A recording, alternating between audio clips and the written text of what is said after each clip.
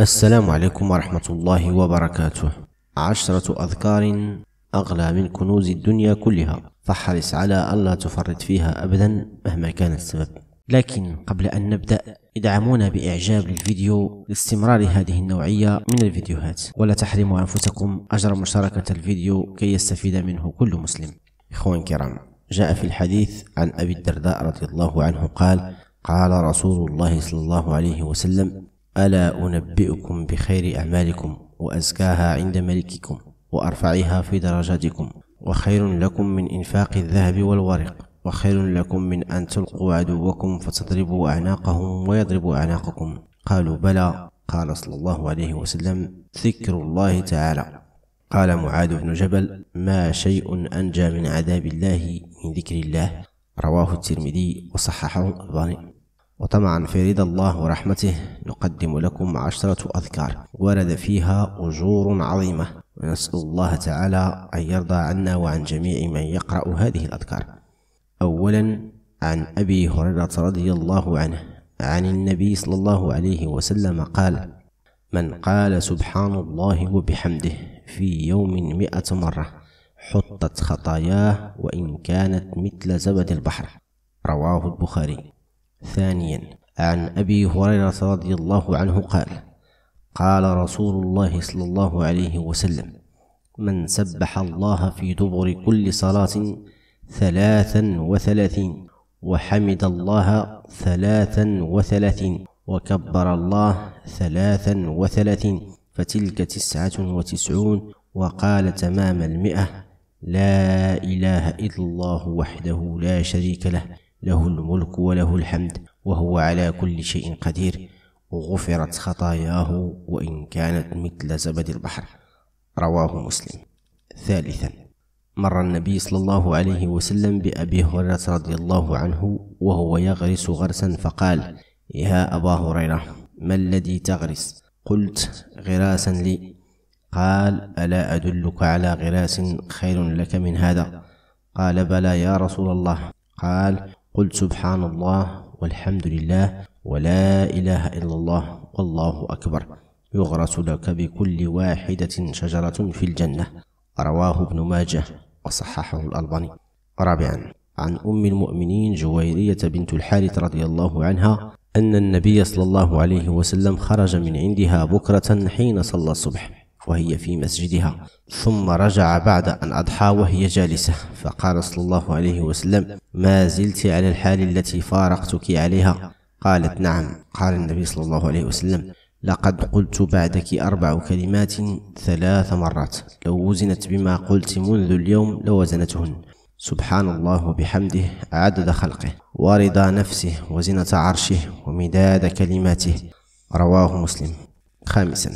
عن أبي هريرة رضي الله عنه قال قال رسول الله صلى الله عليه وسلم كلمتان خفيفتان على اللسان ثقيلتان في الميزان حبيبتان إلى الرحمن. سبحان الله وبحمده سبحان الله العظيم.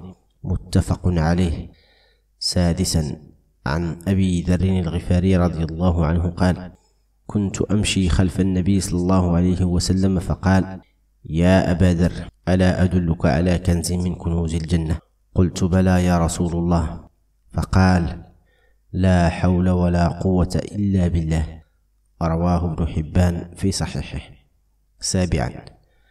عن أبي هريرة رضي الله عنه أن رسول الله صلى الله عليه وسلم قال من قال لا إله إلا الله وحده لا شريك له له الملك وله الحمد وهو على كل شيء قدير في يوم مئة مرة كانت له عدل عشر رقاب وكتبت له مئة حسنة.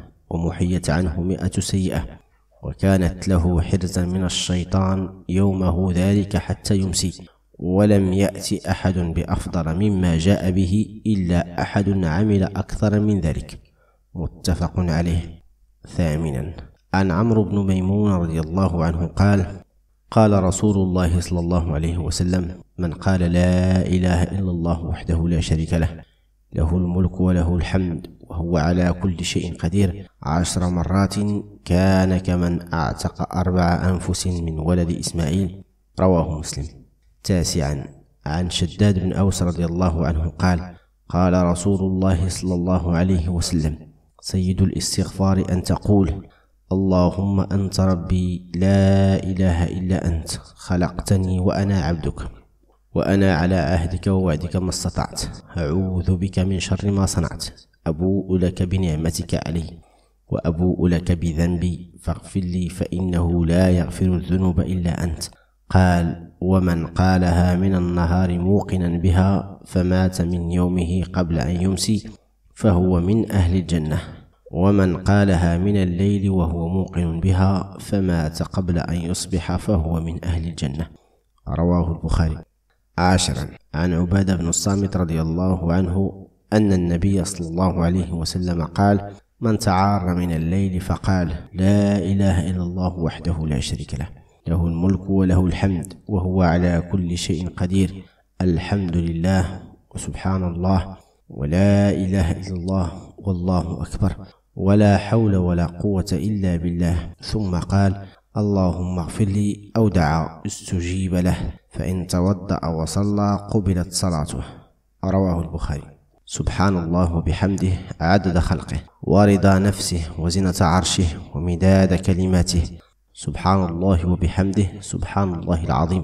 لا حول ولا قوة إلا بالله. لا إله إلا الله وحده لا شريك له. له الملك وله الحمد وهو على كل شيء قدير.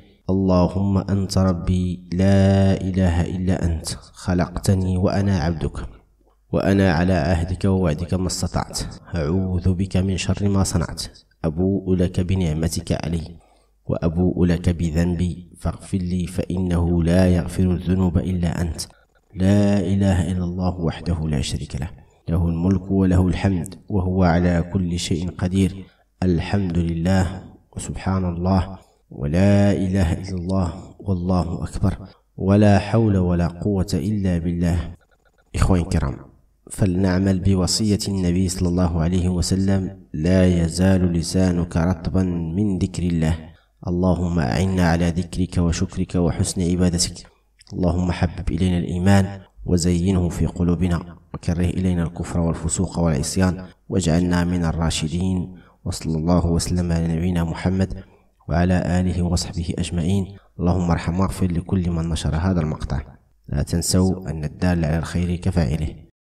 إذا أتممتم الفيديو إلى آخره. فلا تخرجوا قبل ترك تعليق بالصلاة والسلام على نبينا محمد ولا تحرموا أنفسكم أجر مشاركة هذا الفيديو كي يستفيد منه كل مسلم. فالدال على الخير كفاعله.